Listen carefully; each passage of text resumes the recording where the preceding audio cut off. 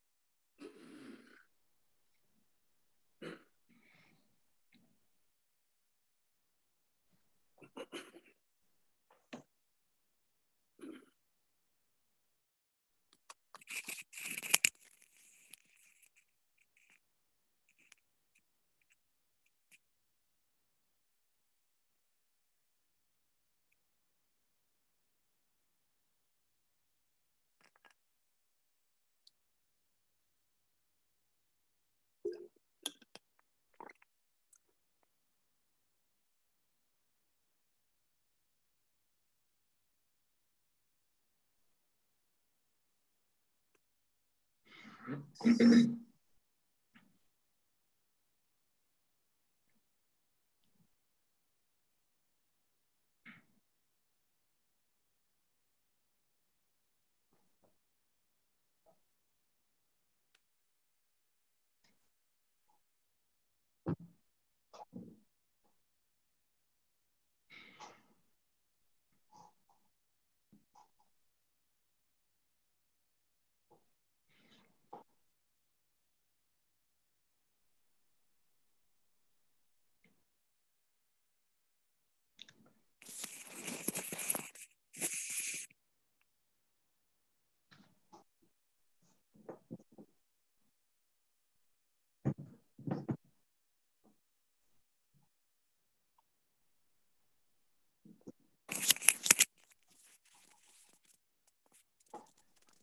Uh, we will begin in two minutes. We are waiting for our principal to join. Sure, sure.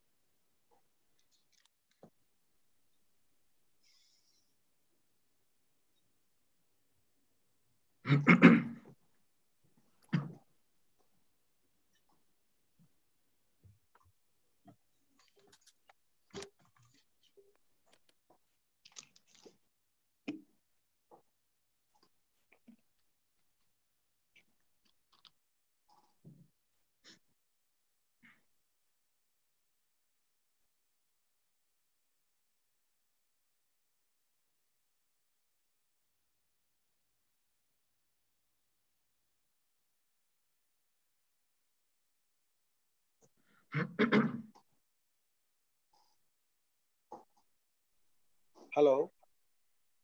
Can you Hi. hear me? Yes. Okay. Yeah. Man, uh, principal has joined.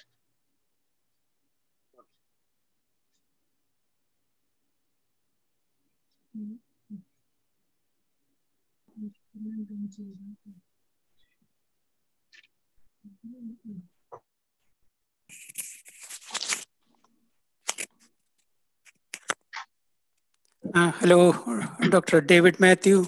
Good to see you. Thank you. We missed you last time. Uh-huh.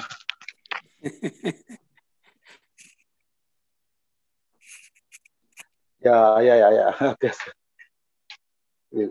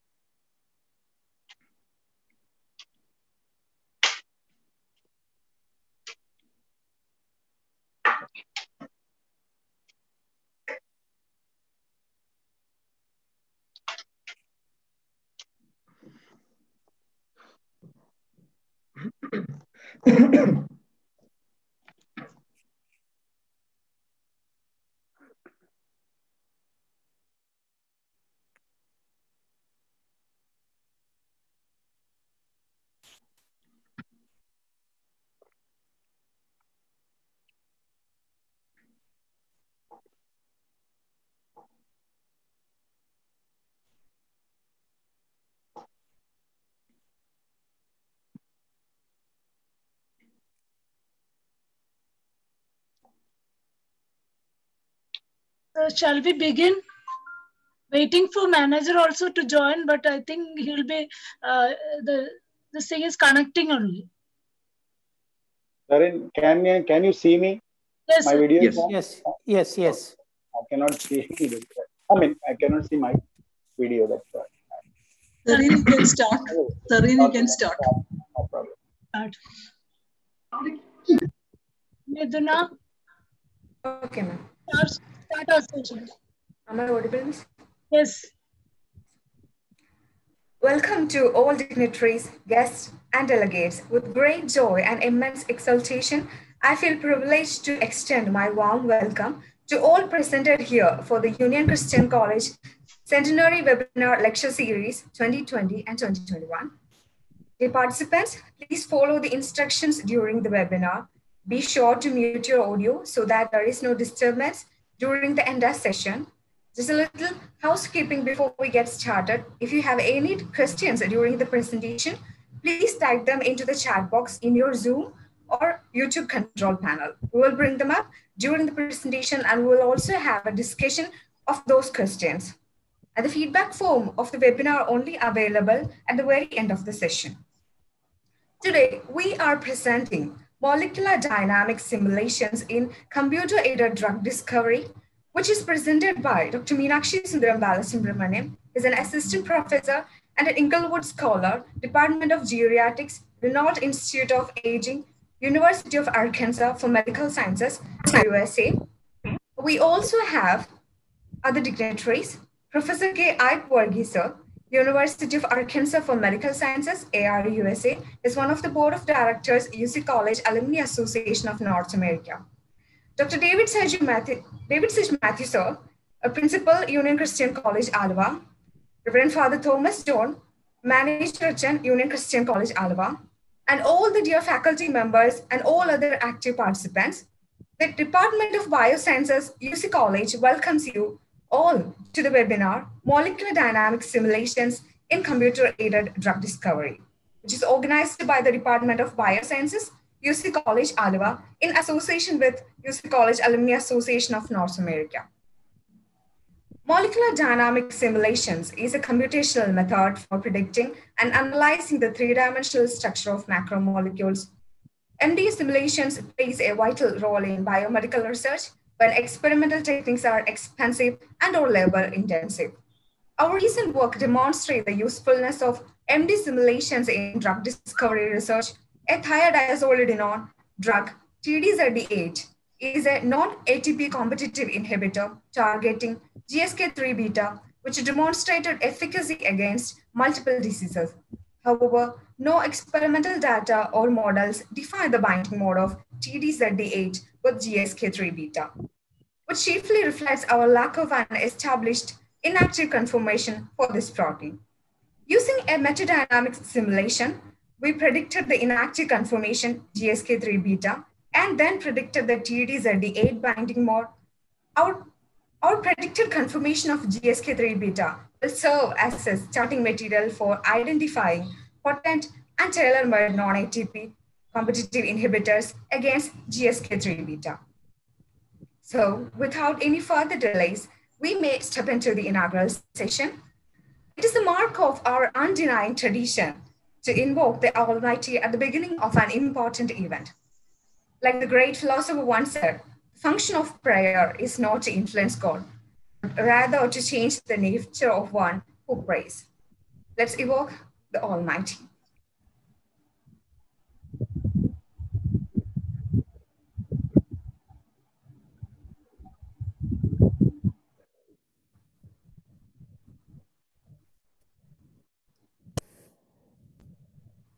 Now, I would like to invite you step down into darkness. Open my eyes, let me see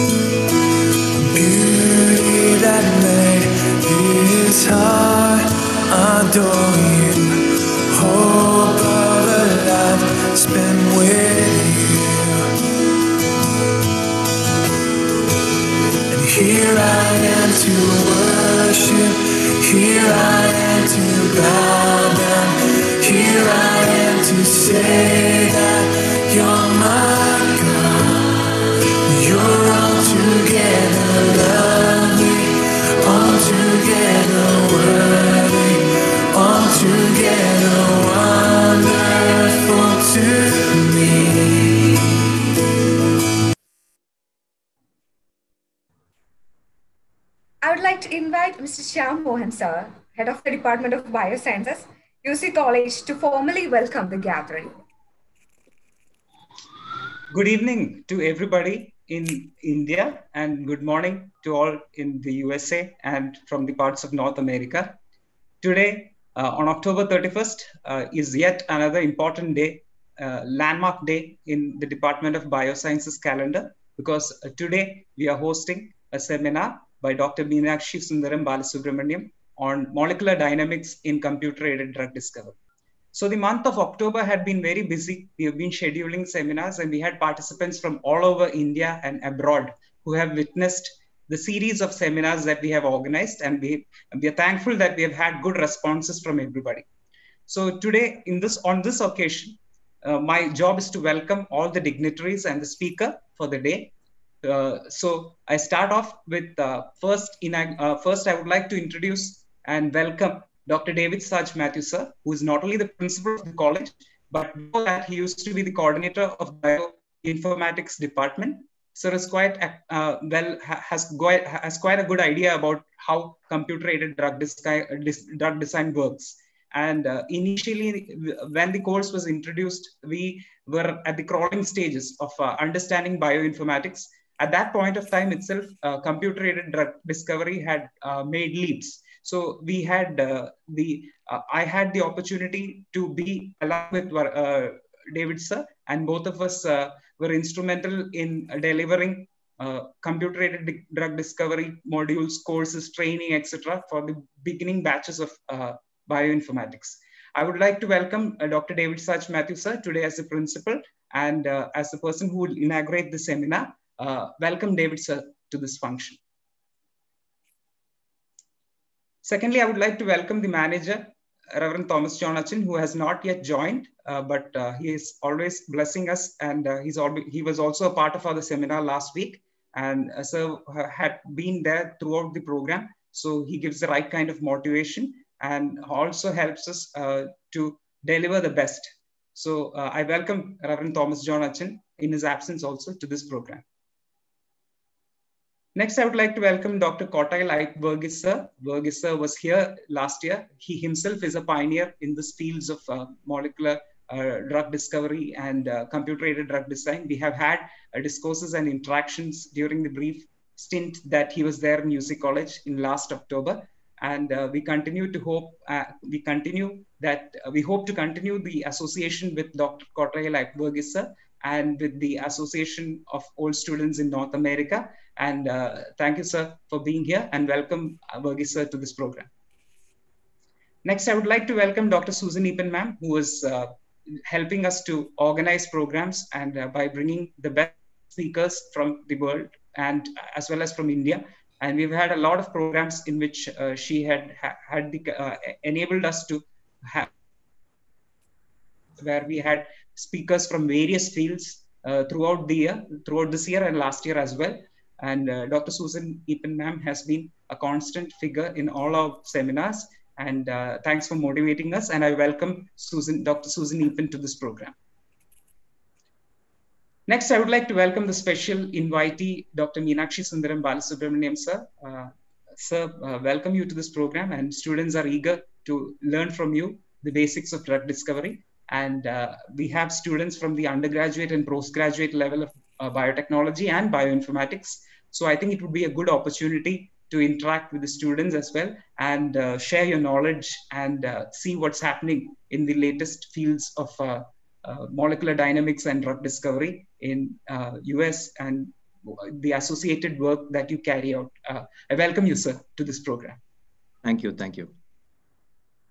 Um, next, I would like to welcome Dr. Seren Sarah John. Seren ma'am has been coordinating the events of the seminar throughout this month, and she has done a good job and uh, she has motivated the students, and all of us together have worked uh, worked out uh, this pro- these programs well, and uh, we have had good responses, like I initially mentioned. And uh, Dr. Seren ma'am has been coordinating the events backstage, the trials, and sharing with the participants, giving the know-how to the volunteers of the program. Uh, Dr. Seren ma'am, welcome you to this program. Thank you, sir. Next, I would like to welcome all the faculty of the Biosciences Department and the faculty of the Union Christian College, the non-teaching faculty of our college as well to this program, who are a part of this program. And finally, the students. The students have been instrumental in the online platform uh, design, the uh, parts of the design of the flyers and uh, the publicity with, which they give to other students so that they all participate. And students have been at the forefront behind, and they have truly helped us I, I, hope you had good experience in listening to all the seminar and you got enough motivation and inspiration to uh, pursue your scientific and academic career. And I welcome all the students of Biosciences Department to this program. Next, I would like to welcome all the participants who are listening to us in the platforms of Zoom and YouTube as well. And uh, it has been nice to have all of you here in our department. And uh, uh, you have had the opportunity to witness some of the great speakers we have had. And thank you for your responses and your feedbacks as well. And keep coming in again. We have some more programs in store for you. Welcome uh, to the participants of the seminar. Welcome one and all. Thank you, sir, for your earnest welcome address. Now, I cordially invite Dr. David Such Matthew, sir, Principal of Union Christian College, for the inaugural address.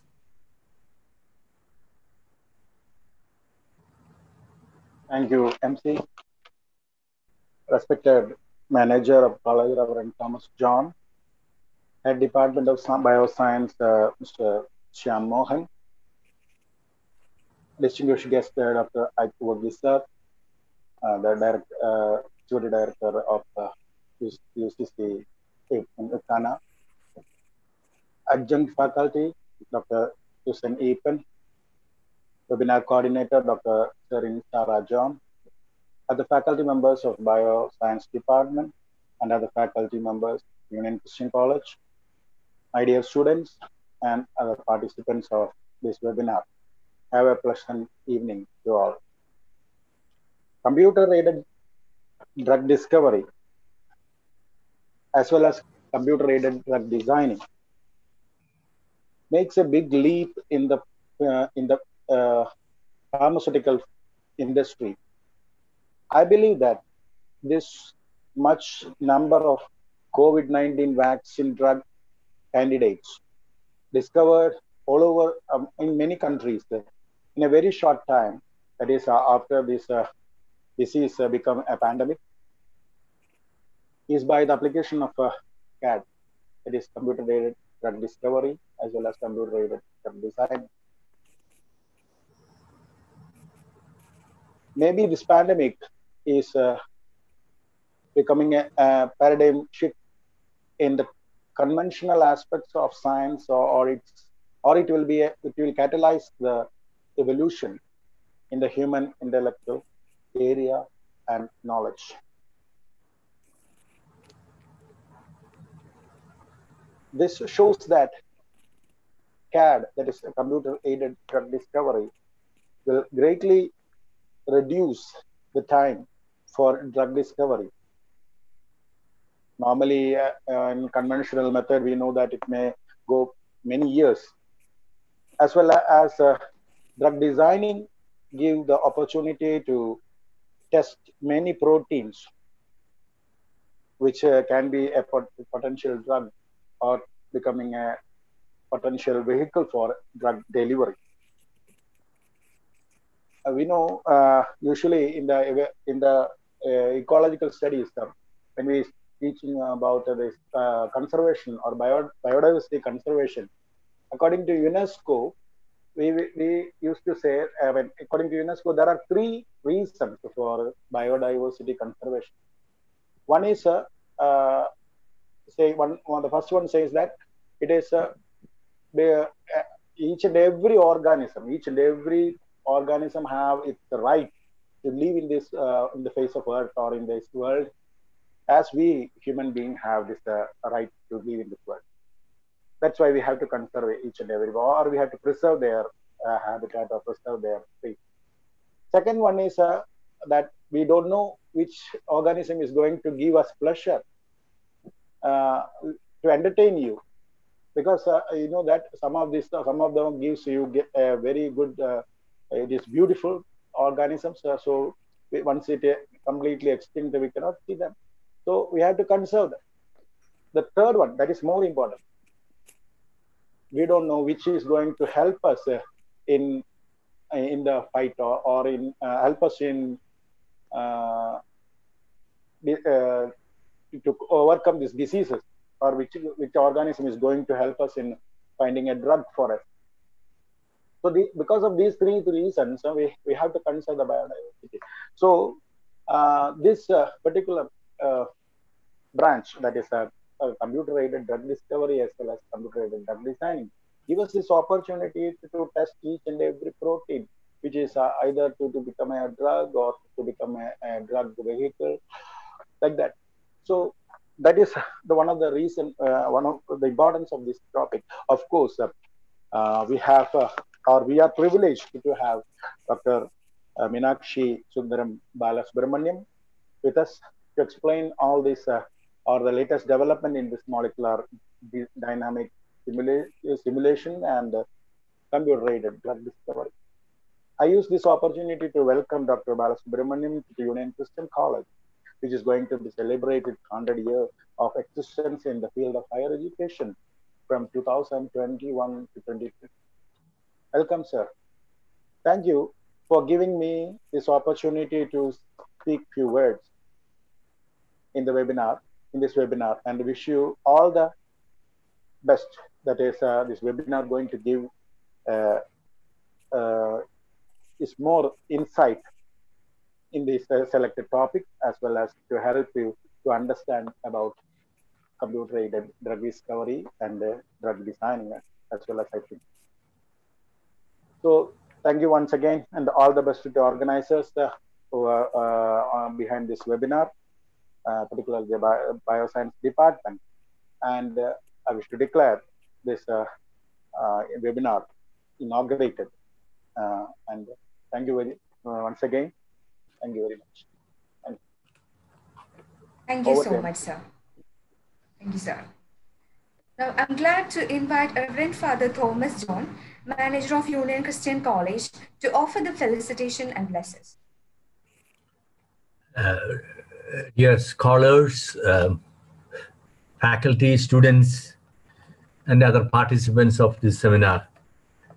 Uh, we are greatly privileged to listen to an accomplished scholar as Dr. Meenakshi Sundaram Balasubramaniam, assistant professor and Inglewood Scholar, Department of Geriatrics, University of Arkansas for Medical Sciences, USA. Uh, sir, I welcome you most gladly to this uh, community of Union Christian College, Aluva, uh, which is celebrating its 100 years of service to the nation, especially the community in Kerala. One of the goals of uh, the centenary celebration is to expand our inter- international partnerships. And uh, I'm glad to note that Dr. Ait is one of our uh, senior alumni and an accomplished scholar in this field, is facilitating these uh, seminars, which I consider as a model to be replicated and expanded. And uh, I hope that we will have more such uh, uh, opportunities and areas of partnership. And uh, I wish this seminar all success and uh, may you all have a, a very fruitful time. Thank you. Thank you, Father. I consider it's a great honor to welcome Professor K. Art Sir, University of Arkansas for Medical Sciences, ARUSA, and is one of the board of directors, UC College Alumni Association of North America, to introduce our chief guest into the webinar.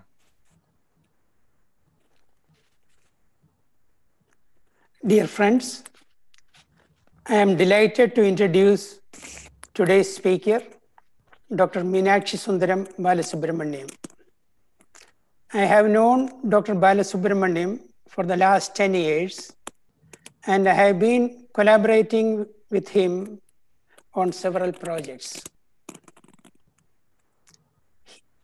He grew up, Dr. Balasubramaniam grew up in Chennai, and he did his postgraduate degree in biochemistry at the University of Madras. He did his postgraduate studies in bioinformatics also at the University of Madras. Afterwards, he came to Little Rock to do his PhD and joined the bioinformatics program, run jointly by the University of Arkansas for Medical Sciences and the University of Little Rock. University of Little Rock has a strong computer science department and uh, University of uh, Arkansas for Medical Sciences has strong biological science programs. Dr. Balasubramaniam made good use of these facilities in both universities. After obtaining his in bioinformatics in, in 2016, Dr. Balasubramaniam continued to work here as a postdoctoral fellow. And in 2018, he rose to the rank of an assistant professor. Dr. is a computational biologist with expertise in molecular simulations and computer aided drug discovery. His skills include molecular modeling and application of artificial intelligence tools to solve problems in biology. He has been studying early events in Alzheimer's disease and has published several high profile papers. I am a protein crystallographer and I like to study proteins when they fold correctly and when I can crystallize them. But when proteins misfold and aggregate, it could lead to neurodegenerative diseases. Dr. Balasubramaniam has combined various experimental and computational techniques to identify the events and interactions that lead to protein aggregation in Alzheimer's patients. This information is very useful in drug design. Apart from his research and publications, Dr. Balasubramaniam is doing a great deal of service to the scientific community. Recently, he created a user, user-friendly tool for doing molecular simulations called WebGrow. This tool enables biologists to carry out these calculations even if they lack in-depth knowledge of computational techniques.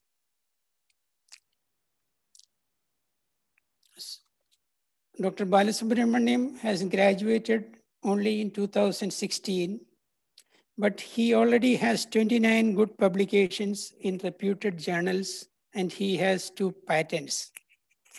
Indeed, a great accomplishment for an, in, in for a, an young investigator. Knowing Sundar well, I can say one thing. He planned well. He knew what he wanted to do even before coming to Little Rock. Then he worked hard to accomplish his goals. Without taking more time, I will ask Dr. Balasubramaniam to tell us about his exciting work. Dr. Balasubramaniam, take it away. Thank you. Okay. Thank you so much. Uh, good morning, uh, good afternoon, and good evening to everybody. and uh, thank you so much for the organizers for this uh, wonderful opportunity to present uh, during the centenary uh, occasion. And thank you for all the wonderful introduction. And thank you so much, Dr. Varghese, for, for the wonderful introduction. And so I feel always delighted to collaborate with you and learn from you. So, as I always say.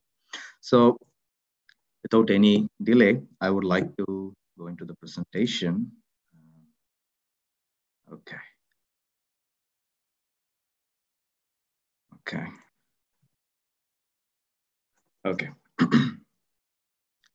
so, like Dr. Uh, uh, Dr. Matthew was explaining, so molecular dynamics simulation and drug discovery um, has taken a big uh, leap in this uh, during this pandemic, and uh, thousands of publications uh, Uh, were published uh, uh, based on this drug discovery, uh, computer-aided drug discovery. so due to the advancement in the computational speed and the advancement in the algorithms, this molecular dynamic simulation and computer-aided drug discovery has become an inevitable tool in the biomedical research. So today, I would like to talk about how we are using the molecular dynamics simulations in computer-aided drug discovery. So I probably you might have all learned about the drug docking and other stuff. So I'm not going to cover the drug docking and other stuff, but I'm going to talk about how we can use this molecular dynamic simulation and protein structure prediction and how that structure prediction is going to be helpful in the designing a tailor-made drugs against the protein of our interest or the target of our interest. So since uh, we have audience from uh, uh, from from bachelor degree, so I would like to go give a brief introduction about the protein structure and function, and then how protein structure is very important in determining the disease relevance and uh, molecular dynamics simulation. What is the basic of this molecular dynamic simulations and uh, how we are going to apply this molecular dynamic simulation in our rational drug design. Uh, so towards that, I would like to uh, explain how we are going to use this molecular dynamic simulation as an example uh, with our recently uh, published article on uh, this interesting GSK3 beta structure discovery. And then I will end the topic with the various um, MD simulation packages. So as per the central dogma of biology, the DNA gets the head role, like uh, determining the uh, the genetic uh, function and you know storing the genetic code. But the protein plays the major role. Proteins is the workforce of the body. Although DNA is going to uh, contain the information, but it is going to get transcribed into a protein. And proteins are the real workforce of our body. And uh, that protein plays a central role in all our biological function. For example, uh, starting from muscle contraction storing energy and uh, production of energy and antibody protection uh, and oxygen like hemoglobin and enzyme activity, hormonal regulation. So everything protein plays a role and protein is the one who's performing all these things.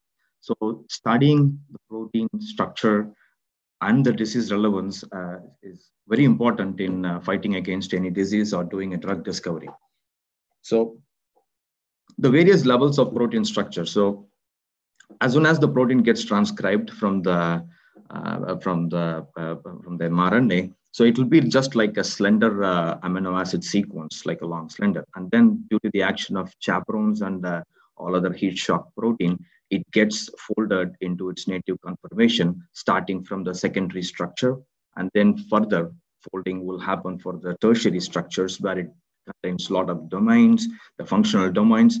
And then some proteins uh, might also go to the quaternary structure, which is uh, they perform uh, like two or more protein, different protein in complex together, forming one functional unit.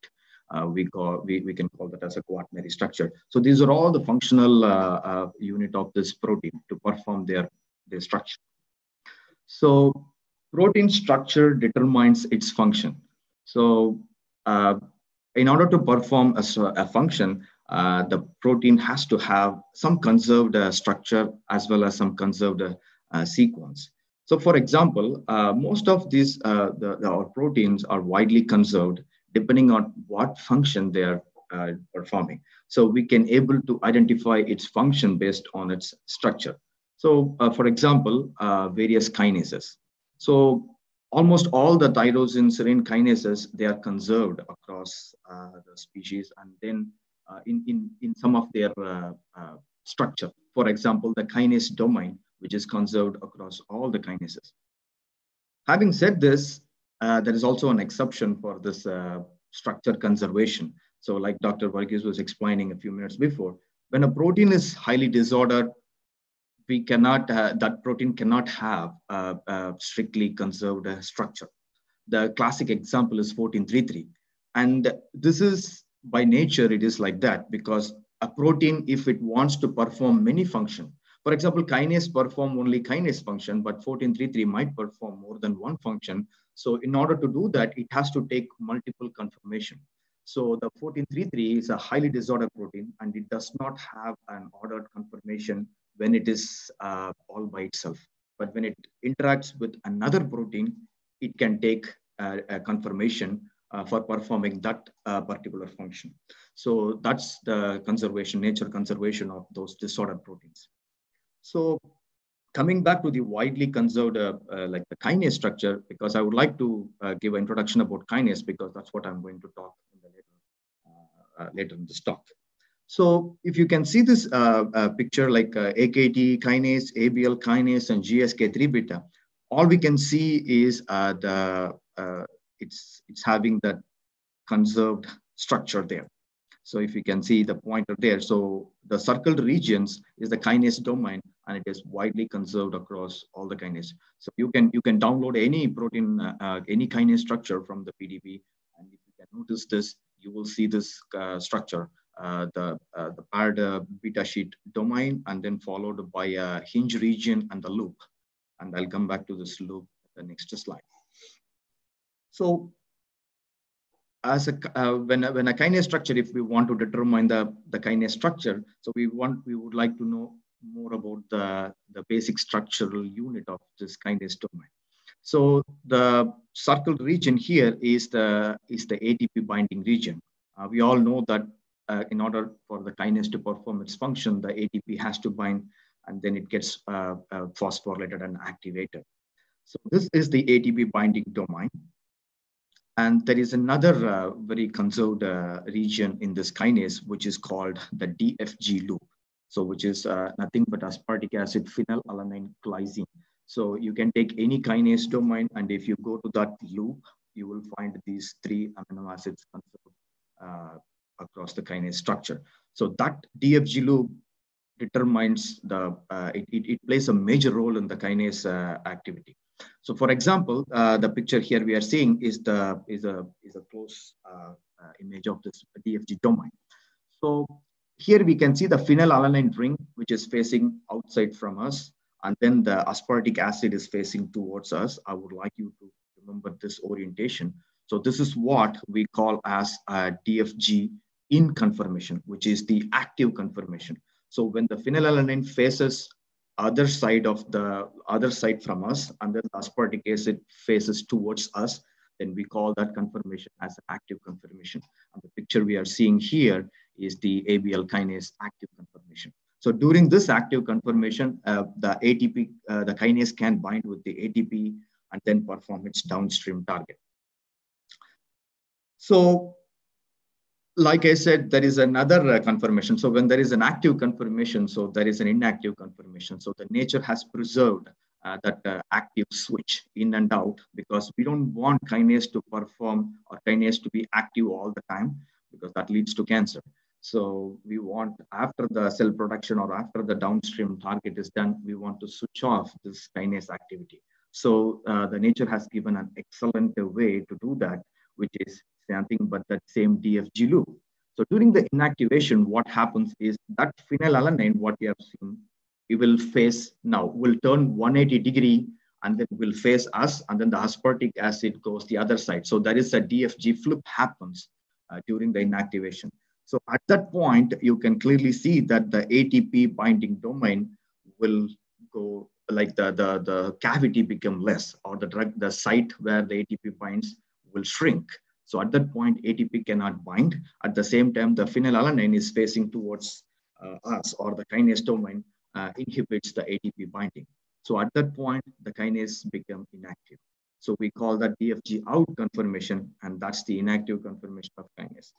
So that's how the kinase uh, perform its activity like in and out. So when a, when a cell produces a signal for, for the kinase activity, that, uh, that kinase become active. And then when the activity is done, it has to go inactive. So, so what, so this, this activation and inactivation plays a, a very uh, important role in, the, in, in many diseases, especially in cancer. Uh, because uh, when, a, like I said before, when a, when a kinase is always active, it's going to send the continuous signal and it's going to perform its downstream activity continuously. So uh, then, for example, if it is an EGFR kinase or BRAF or KRAS, then we're going to get cell progression continuously, uncontrolled cell production. So that's what we, we, it leads to cancer. So studying this, and that's how the inhibitor, the drug discovery emerged to block that activation or to block the further downstream target. So there are two kinds of drugs that we can use in the kinase, which is the type 1 inhibitor and type 2 inhibitor. So which I'll come back to that in, in, in, in the later slides. So in order to do the tailor-made drug discovery for any particular kinase, so we want to know the structure of that protein, like uh, uh, like because proteins, uh, like I you know, said before, exist as a flexible entities. So it can take multiple conformation depending on the activity and depending on the, uh, on the function. So in that case, like most uh, most proteins, like uh, you know, they also transition between uh, many conformations. So one example that I showed is this active and inactive conformation. So there is another example I can tell you is about SERCA, which is the calcium uh, calcium flux protein, like a membrane protein, which participate in the calcium transport. So you can see here, uh, the structure on the left side is the, uh, is the mm, maybe we, we cannot call it active and inactive, but I would say uh, this is an open conformation of the SERCA. And once the calcium pump going to happen, that uh, the these two domains, as we are seeing here, shrinks. So it forms like a like a pump, and then this is the membrane bound region and that calcium is pumped towards this membrane. So all these uh, uh are very important uh, uh, events to notice uh, visually and structurally because each and every stage is important in designing uh, the drug, an effective drug. So experimental structures like a crystallography is, has to be there as a starting material to, to do it but the dynamics has to be maybe we might not see the complete activation and inactivation during nmr or in the crystallography so that's one thing although you know they are having a little bit of uh, uh, you know dynamics still there in uh, both NMR and the uh, crystallography, but we might not able to see the full activation or inactivation using that. But uh, we need to have a starting material which can come from either uh, X-ray structure or the NMR, and from that we can continue using simulations to see that activation and inactivation, which I'm going to show you in a while. So understanding this dynamics is very crucial because if we want to have a drug in the intermediate stage, or if you want to see exactly what uh, events are happening, so you, you must have to know this uh, uh, transition. So also this knowledge will guide us towards the tailor-made drugs. So how do we visualize this macromolecule transition state, which is the computer-aided, you know, uh, simulations, which is the molecular dynamics simulation. So in brief, what is this molecular dynamics simulation? Uh, is like it's a computational method for analyzing the physical movements of atoms and residues in the macromolecule. So we know that all this protein is made up of this is a, is a general atom atomic structure. So using this molecular dynamic simulations, we are using a force, which is all mathematical calculation. So we are using the force and then we are calculating how this physical movement of these atoms uh, happens. So because what we do is we will, in a fixed period of time, we will make these atoms and molecules in the protein to oscillate or to interact with each other and then calculates this energy. So energy of interaction, energy of angle, and everything will calculate, uh, especially with the potential energies. And then using the formula, the molecular mechanics, uh, we will derive to uh, uh, to an equation and we will derive to the three-dimensional structure of transition. So it all happens in the fraction of seconds in computational time.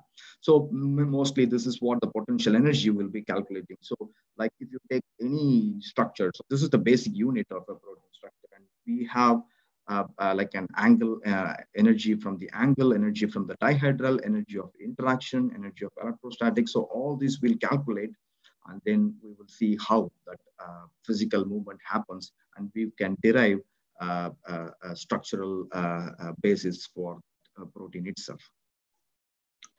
So MD simulation was originally developed in early 1950s in the theoretical physics. And then after the X-ray crystallography uh, became uh, an inevitable tool, uh, molecular dynamics started with X-ray crystallography there. Um, so MD simulations are often used to refine proteins or nucleic acids uh, that are from X-ray on NMR.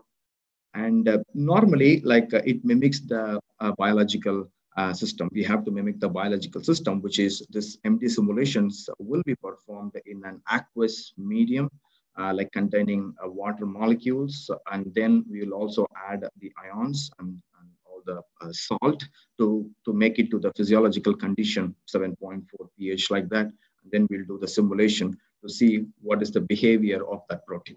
So that's how the molecular dynamics will be done. So like, for example, here we are seeing, so we have a protein, we'll then construct a box and then we'll put ions and so all this we are seeing is the water molecules and ions. So we'll add it according uh, to match to the physiological condition and then we'll apply the force field the force, force field can be of anything, and we can apply the force field and then simulate it for nanoseconds to microseconds. And then you can analyze the trajectories uh, to see what's going on and what's the, what's the structural changes. But in order to predict large conformational changes, so that, uh, or even the subtle conformational changes, uh, like what we have seen for the kinase or the, the SERCA that I showed you, it's a large conformational change from from really an open conformation to uh, the closed conformation, uh, we might need a longer simulation, like say in microseconds or maybe milliseconds, which is not available yet, but we do have a microsecond scale simulations uh, uh, uh right now. So, uh, for example, like uh, uh, this is from my example, uh, you know, from my experience 10 years before when I joined in this, you know, in this program, I started by learning the simulation. So I wanted to do this A beta peptide, which is 42 amino acid, just 42 amino acids in a box. And I'm having a small laptop that time, I think i3 or i5, I don't know. So when I wanted to do this solvated simulation, let's say 1.5 microseconds, uh, uh, it is showing me that it's going to take three months of time. So just for that uh, 42 amino acid peptide. So that's what it was long time before. But now due to this uh, advancement in this GPU, the graphical processing uh, unit technology, so now this has become like, like in no time we can do microsecond scale simulations even for larger proteins. So what are all the area, the areas of application, the MD simulation in drug discovery? So uh, like I said before, uh, we can use this molecular dynamic simulation primarily to predict and refine protein structure. If you have a wild type, for example, or the native conformation, and then if you want to predict the mutation, mutation structure, in case if you don't have an X-ray or NMR crystals result, you can apply this molecular dynamic simulation and you can run it for a longer period of time uh, to predict the uh, mutational structure. Same way, longer run MD simulations uh, uh, has been extensively used uh, for predicting the protein structure all by itself, like in the ab initio method. like for example, many disordered proteins we, we might not have or we don't have a X-ray or NMR structure. So during that condition, uh, we can use this ab initio structure prediction uh, to get a, a, theoretical idea about how that looks like. So although it is not a preferred strategy, like I said, it is a theoretical model, but uh, that is a good place to start with this ab initio structure prediction. Uh, and then you can do you know, further studies on that.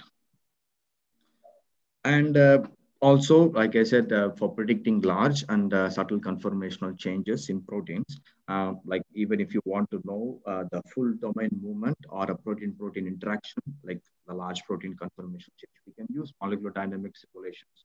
Or we can use uh, this molecular dynamics for this very uh, minimum or very minute, you know, structural changes, but that makes a big deal in the in the in the drug discovery. So for that also we can use this uh, MD simulation. So both active and inactive conformation uh, of this kinases, uh, like I told before, are very crucial for the cancer drug discovery. So like uh, from the example of ABL, uh, we know that paper really made a big big gain in 1998, which when they found this imatinib uh, as a serendipity, like uh, when it is when it is an ATP non-competitive, then when they resolved the X-ray structure, they found that it is not binding to the ATP kinase uh, site as they thought, but it is binding to a different uh, site near to the DFG loop, which is in the out conformation, and that's how the whole uh, inactive conformation field and the kinase started. So that's a very interesting uh, story of that ABL kinase and imatinib.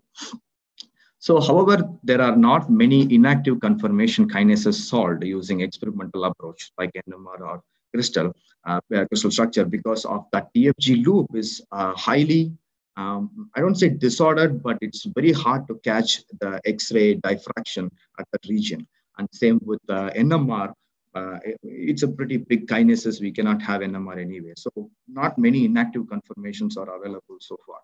So we can use MD simulations to predict inactive, such inactive conformations uh, if you want to do uh, target-based or tailor-based practice.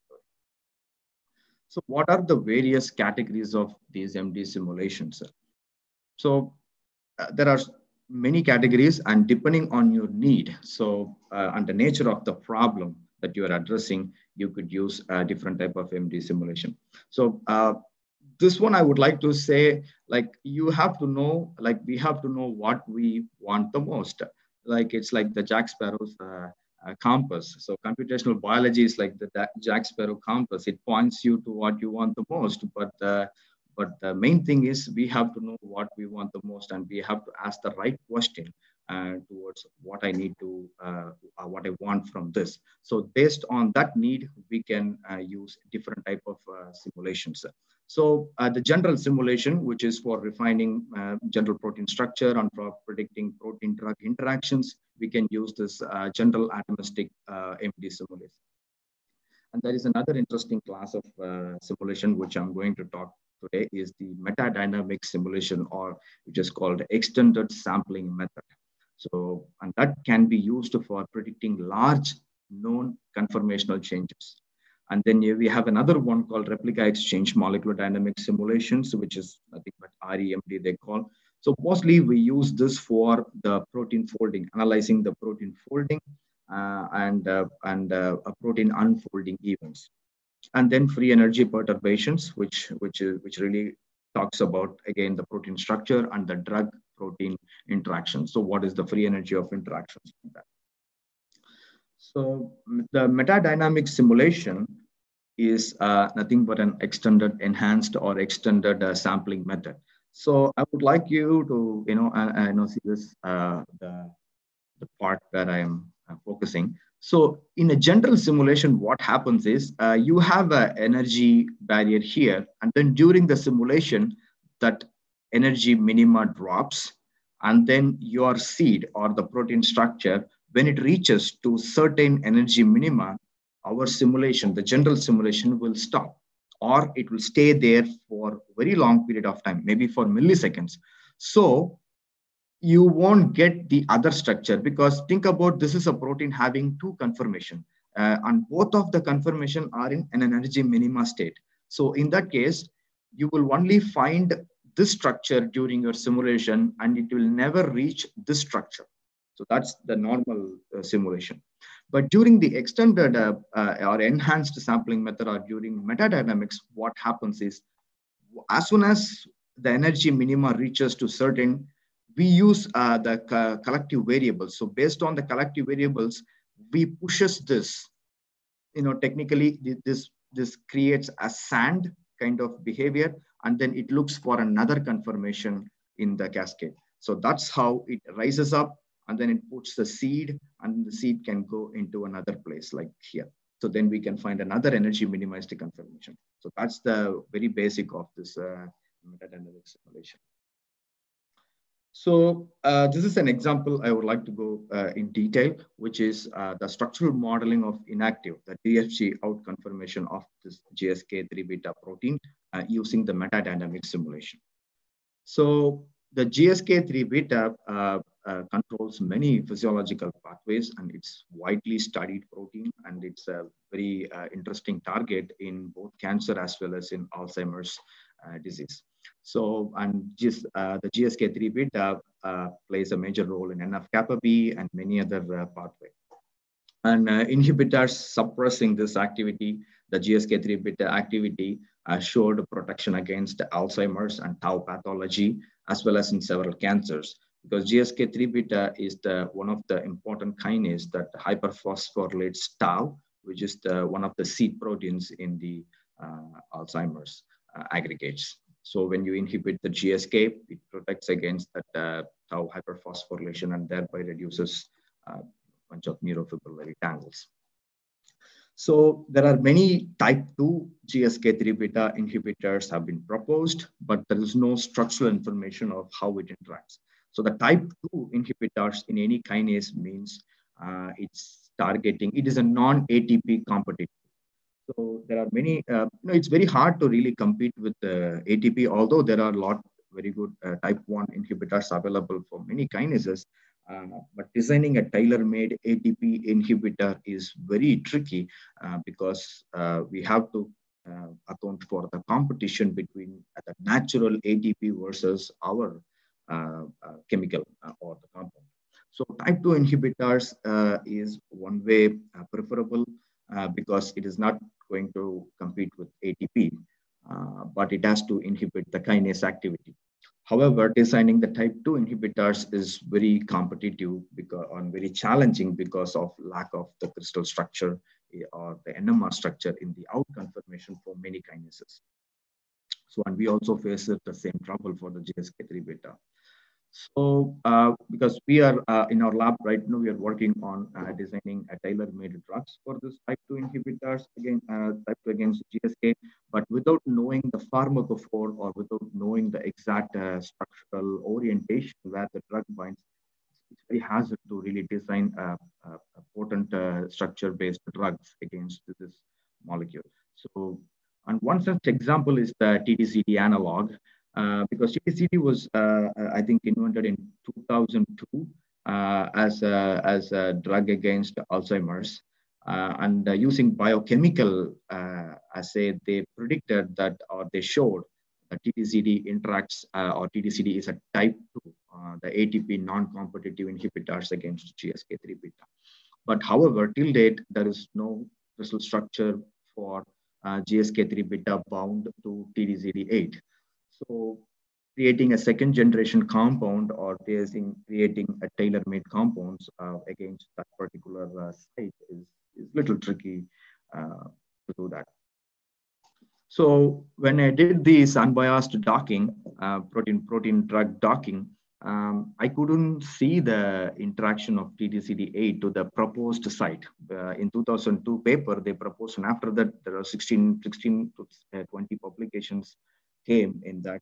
And they all proposed the binding region or binding residues for the TDCD8 using biochemical assay. But when I do the docking with the active conformation of GSK, I couldn't able to see uh, that interactions.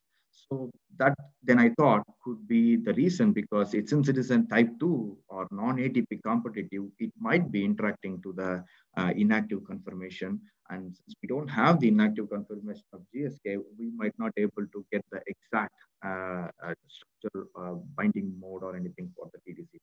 So that's when I started using this uh, metadynamic simulation approach.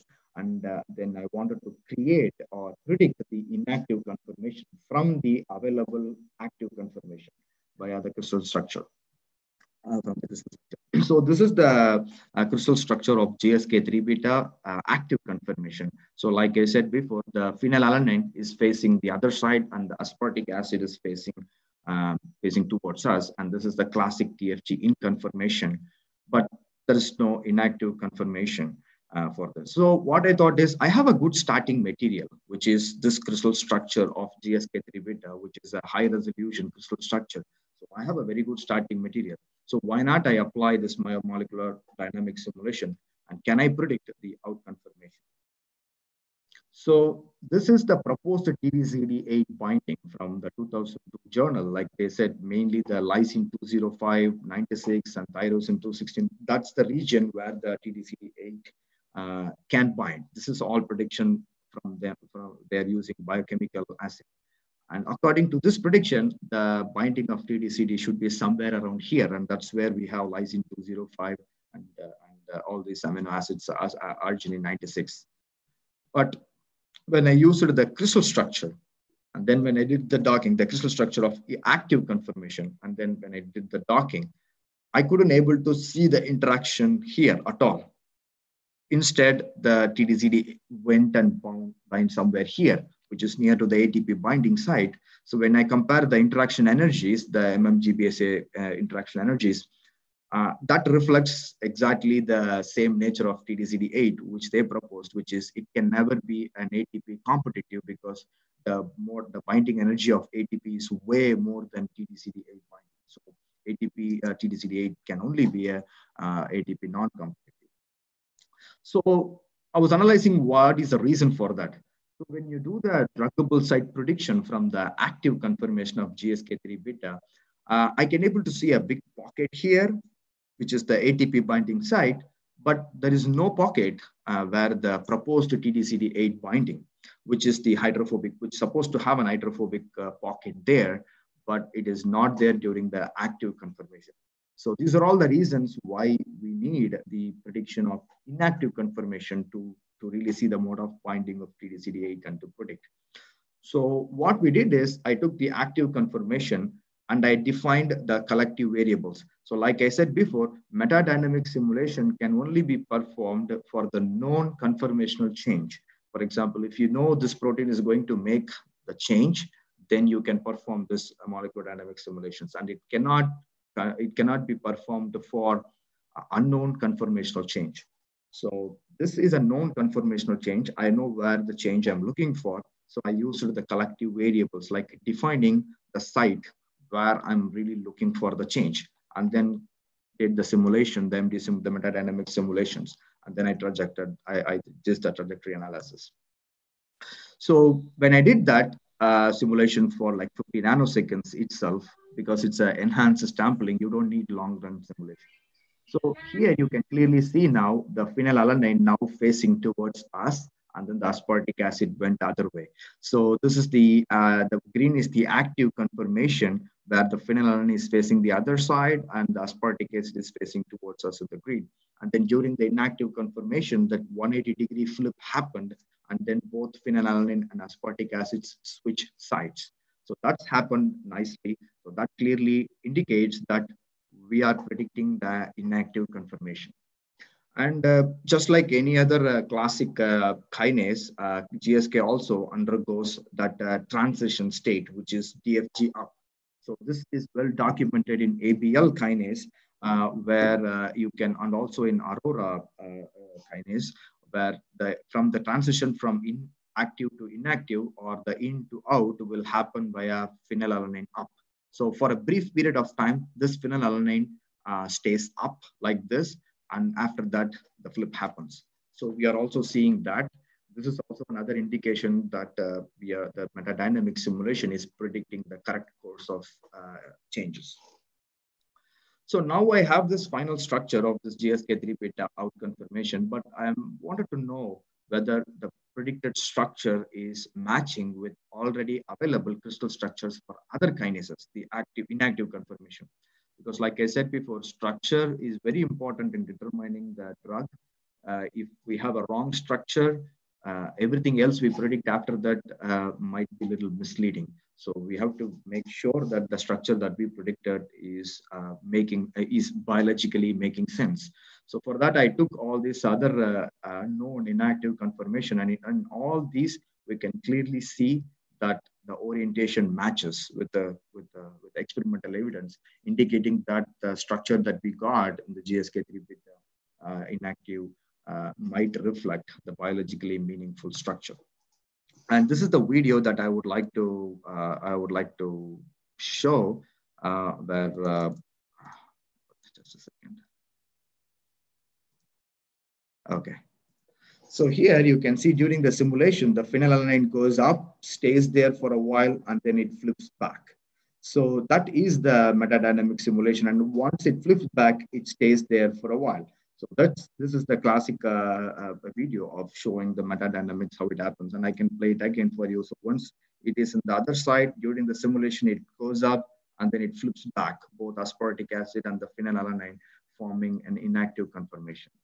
So once you have the structure, then the predicting your uh, drug discovery will be very useful because now this is the DFG in conformation and this is the DFG out predicted confirmation. Now you can clearly see the shift in the uh, docking pocket. Like I said before, uh, during the inactive confirmation, the ATP pocket shrinks and there is no pocket in the ATP. So this confirmation cannot have any binding to ATP. Instead, there is a creation of new pocket in the DFG region, which is the hydrophobic pocket. And that's where the type 2 inhibitors usually bind. And this is where we might expect the TDCD to bind to. So now when I used that uh, structure and did the docking, now I can clearly see the interaction of PTCD8 exactly as proposed in the 2002 publication, which is lysine 205 and the arginine 96 here. So forming an interaction in the DFG out conformation. And the interaction energy also is way high comparing to when it was interacting to the active. And this clearly demonstrates that the structure that we predicted in the inactive conformation might be really biologically relevant and the TDCD8 binding also reflects the bio biochemical evidences. So then after I did the docking, I wanted to see whether that, uh, uh, uh, that binding is stable. Uh, because during the regular simulation, we can expect uh, other changes also. So during the simulation of 500 nanoseconds uh, in the in the solvated condition, I can I can see that the RMSD here, what we are the red is the TDCD8 and the, aligned to the protein, which is in the blue. And we can clearly see that both of them in the same trend, which is the TDC, uh, the RMSD has a straight line, which indicates that the interaction, the protein ligand complex is stable throughout this 500 nanoseconds, which also demonstrate the stability of protein ligand binding. So now we have what we did not have before, which is the uh, protein ligand complex. So now with this, we can do uh, many things, which is we can do, we can predict the pharmacophore, we can predict the, uh, we can we can increase the potency of the drug binding. So like that, uh, what I did is now I have the structure, can I able to predict all other TDCD uh, analogs interactions. So tideglusib is one of the uh, recent uh, TDCD analog, which is a ATP non-competitive and uh, it, which is a clinical trial right now for the GSK3 beta. And uh, again, there was no crystal structure for tideglusib binding to GSK3 beta. And uh, using this uh, structure, the newly developed inactive conformation, now we can able to see the TDCD8 binding and clearly demonstrate the biological flow, which is the TDCD, the tight tideglusib has uh, more binding than TDCD8, which is what is been already proposed or shown in biochemically. So now using this model, we can predict the pharmacophore. Uh, for example, here we are seeing what important residues or what important uh, side chain from the, from the drug is important or crucial for maintaining this protein uh, protein interactions or the activity. So TDCD8, exactly as predicted uh, uh, previously, uh, the TDCD ring and the other benzene ring is the pharmacophore and the prediction exactly matches with the wet lab analysis. And for the tight tideglusib, we have an, another extra ring that is making the making the interaction more stable at the same time inhibiting the GSK kinase more potently. So uh, so that's that's how we developed that inactive confirmation. And uh, uh, i can send the paper uh, link which has just got published three days before. Uh, and uh, if anybody work wanted to work on this you know gsk3 beta drugs or were previously working on and if you are in need of this inactive confirmation we have a repository where you can download the pdb structures all these pdb structures and you can make use of it and uh, so what are all the different uh, uh, software, the MD software available for the MD simulations is like, so that's very important to know. And GROMACS is the one of the top line software for uh, for doing this MD simulations. And uh, due to this advancement and uh, bug fixings and GROMACS, as well as Desmond, which is developed by T.E. Shaw Research. And this is one of the package that you get it in Schrodinger Maestro. So Desmond, both of both Gromax and Desmond uh, uh, uh are like uh, uh, very nice in predicting the biological changes, and so as Amber and, and NAMD.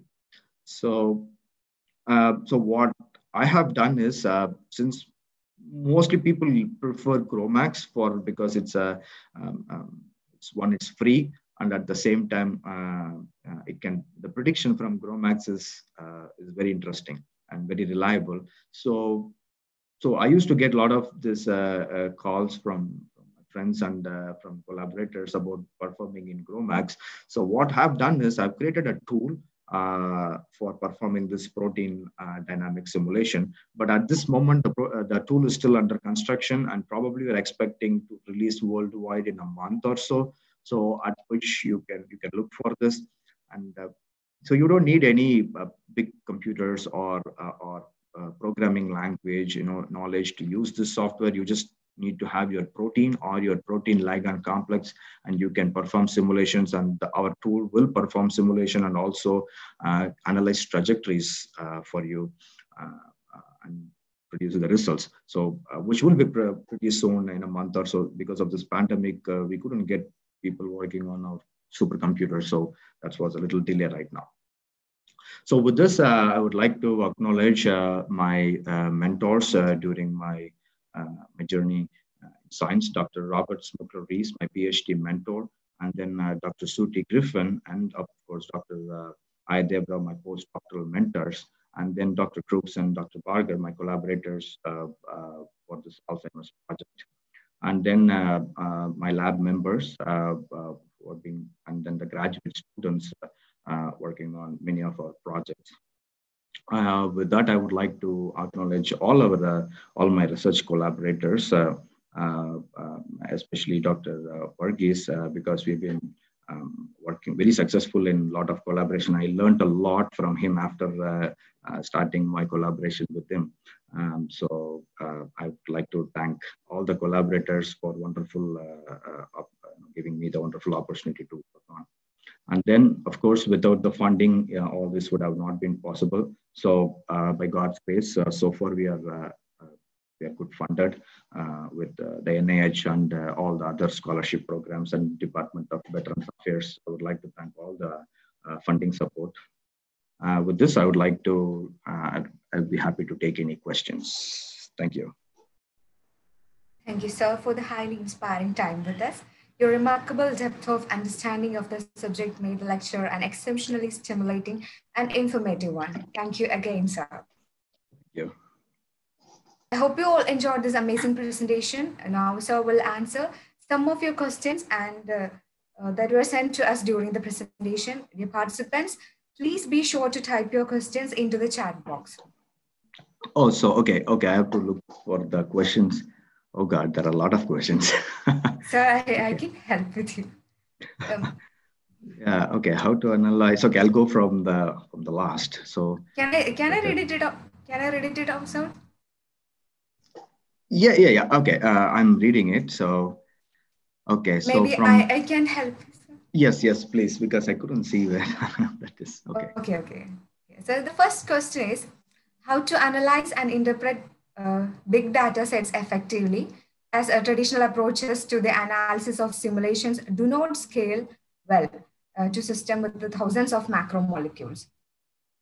Yes, so, uh, that's a fantastic question. So yeah, with the different macromolecules, uh, we at this moment that's uh, we are still in the development, and we cannot use that kind of analysis or simulations for different macromolecules. Like maybe we can go up to like I've done up to five to 10 uh, proteins in the same complex, which took longer time, but still uh, that's the limit.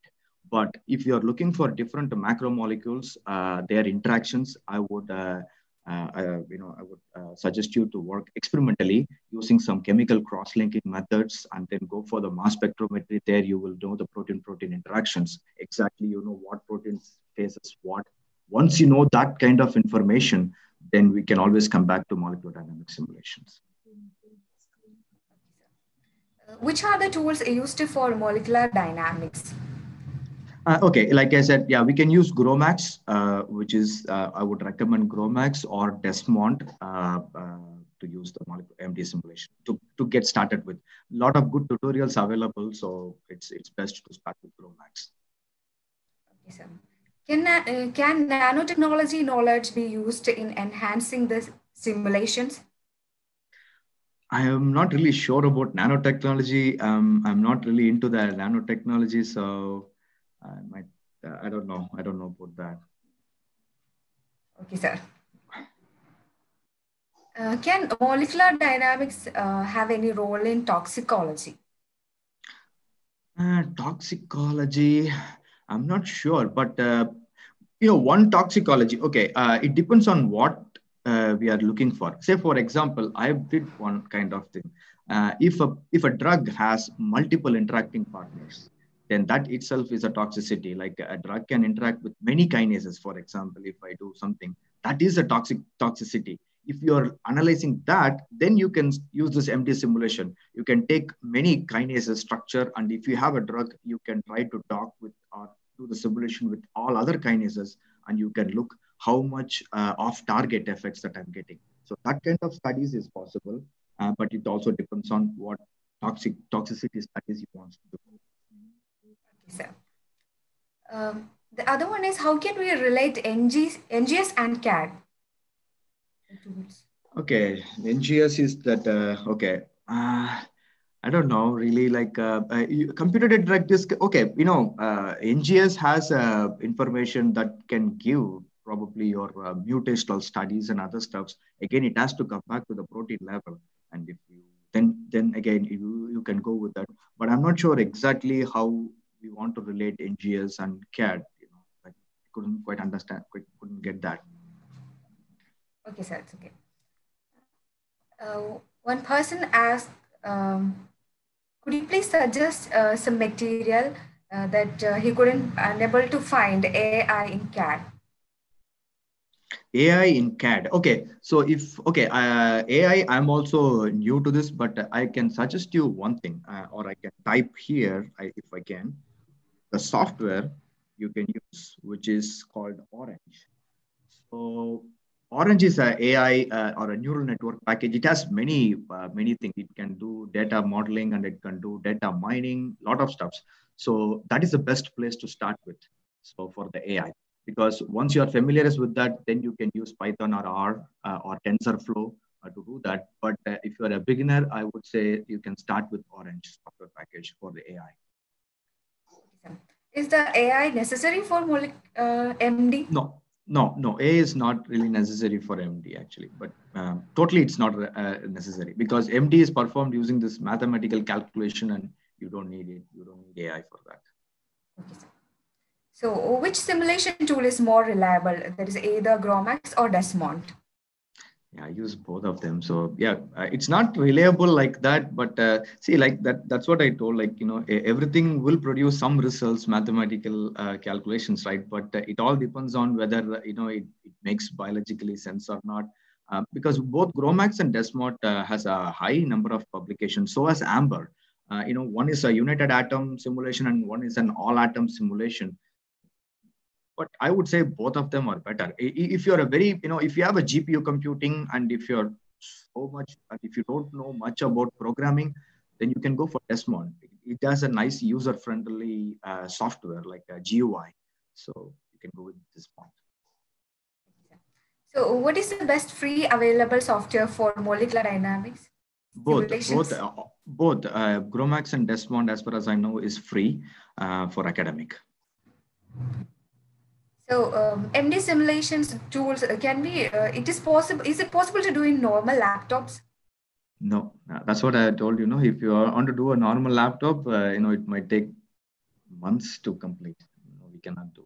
But if you if your laptop has a GPU, yes. But still, we cannot. I don't think we can use any any simulations of, as far as I know, is not Windows based.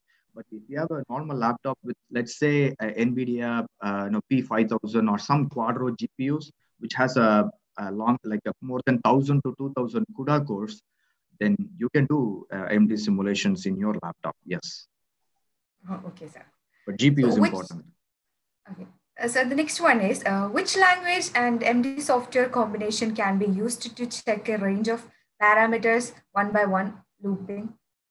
Uh, looping, I think uh, he means that the batch processing. So we can use the Linux bash scripting and Python maybe. Okay, sir.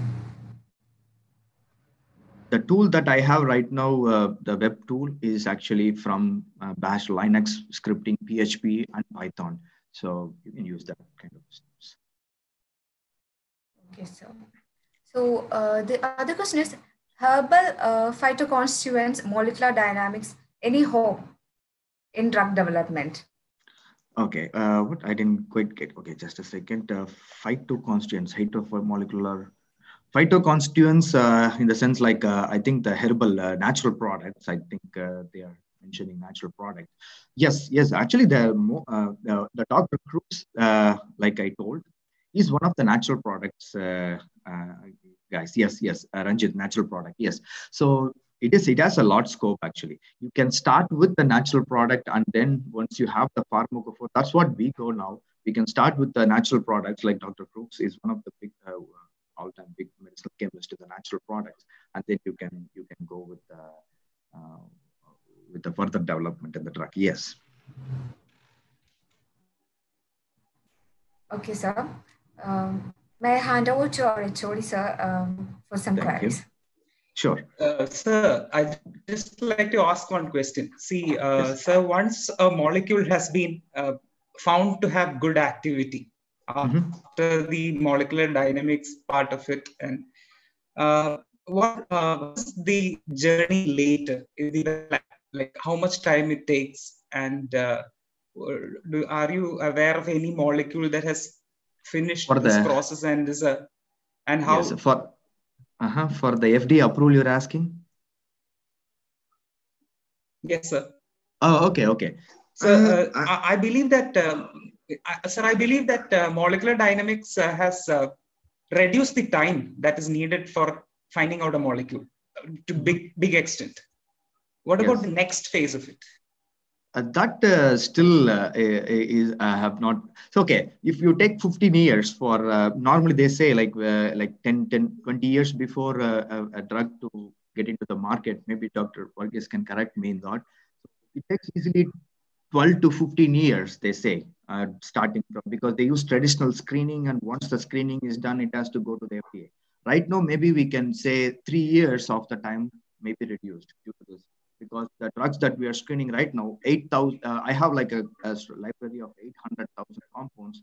Using the Maestro, we can screen uh, probably in like uh, three to four days. So that's it. And then we can put another filters and but the actual testing after that is still the same. So that I, as far as I know, it has not changed. But of course, we have to also agree that you know how uh, how good we are predicting, and a lot of things matters in this. uh, so especially with the clinical trials, it's it's a big gamble.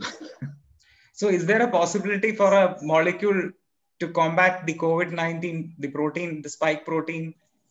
there are a lot actually, but that's what we have to go with the FDA approved drugs. Right now, I think even we I have I got an uh, uh, like a like a talk uh, a good talk with the NIH uh, program officers that they are right now work looking for for Alzheimer's or I don't think about I don't know about cancer, but for Alzheimer's especially, they're looking for FDA approved repurposing of FDA approved drugs because since the regular drug discovery is taking much longer time, so FDA approval drug will pass through all the phase one and phase two easily, and it will directly go to the phase three or phase four, I believe. But COVID 19, I think that's what can happen. Uh, but I'm not sure how many testings are happening. But uh, the, the the recent drug for that uh, spike protein or that uh, RDRP, the trans uh, RDRP, I forgot the name of that. That I think was kind of good in the clinical trial, but I don't know what happened after that. But Even I've heard about uh, this ivermectin uh, trials uh, in Australia, I think. Ivermectin is the ones which are used for parasitic infections, I believe. The spike, uh, yeah. So, yeah. So the that- that- transport protein is uh, what they're targeting. I've read it somewhere. I'm not. Uh, yeah yeah I, I think yeah target protein is very important because once the if you if you inhibit the spike when it cannot attach to the host then it cannot replicate you know that's there is one and there is another one which is the rdrp which is the rna dependent rna polymerase when you inhibit that then it cannot uh, replicate so these things are there so the so the you know fda approved drugs are the already known uh, uh, uh, you know the viral drug has the scope but I don't think new drug discovery will take long time. For. yes. Thank you, sir. Thank you, thank you. Good to talk to you, Sham. yes. Thank you, sir. Yeah. So uh, there is another question also. Uh-huh. One of the our participants completed a research work in in silico analysis of docking and dynamics. Uh, maybe is it possible to create a database? Yes, yes, yes, it is possible. Uh, there is a website. Okay, just a minute. I can share. You can go to this uh, database called uh, Mendeley, uh, data.mendeley.com. So, okay, you can go here and you can create your repository, like um, uh, all your uh, structures, and uh, that's where I, I did it. So you can create a formally the, the user ID, and then you can create your database on that. And while publication, uh, you can give this link once you publish, then that becomes your own repository. Okay, so it looks like we have completed almost every questions. Nice. Okay. Okay. Okay. Thank you, sir. Thank you Okay, so thank much. you. Thank you again, sir, for answering those questions and for the great presentation. It was a pleasure to have you with us today. Thank you. Thank you. Pleasure mine. Thank you, So- Dr. Varghese. oh, I really enjoyed listening to you, Sundar. Yeah, thank you. yeah, yeah, yeah, yeah. You know, I mean, I, regarding uh, the COVID, uh, just uh, I know the Chinese group is trying hard to trying uh, very hard to find uh, drugs for the um, main protease in COVID, uh, Uh-huh. in the in the virus. Uh-huh. This is a protease that chops off Oh, uh, the- uh-huh. molecules to have a functional unit. So, uh, I mean, but that is uh, a been issue work. I don't know. I mean, it's going to take a long time. Yeah, that's what we don't have any because the problem is even I have a publication. I did it in the Chem Archive, but the problem is we cannot check. Uh, I, I don't want to bring COVID 19 to my lab, right? So we can, only in one or two places we can check. So that's the very, uh, that's the problem actually. That's the limiting steps. Uh, uh, really testing the efficacy of your predicted drug is the problem. So yes, yes, yes, yes. Okay.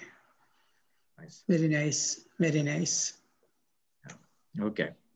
Okay. Thank you and thank you. So I have my email ID given. So any any any anything any of if anything of my help, uh, definitely uh, anybody can email students. Uh, feel free to email me. So so uh, you have my email. Thank you. Thank you, sir. So this uh, concludes uh, today's webinar. Thank you all for attending. We hope you have learned and enjoyed this presentation very well. And uh, now I humbly invite Dr. Serene Sarah John, ma'am, uh, Faculty Coordinator, UC College, for the word of thanks.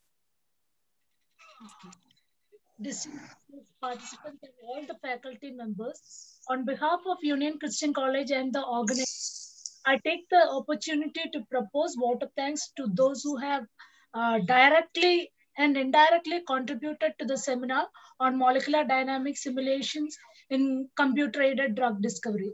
So at the outset, I thank our chief guest and resource person, Dr. Meenakshisundaram Balasubramaniam.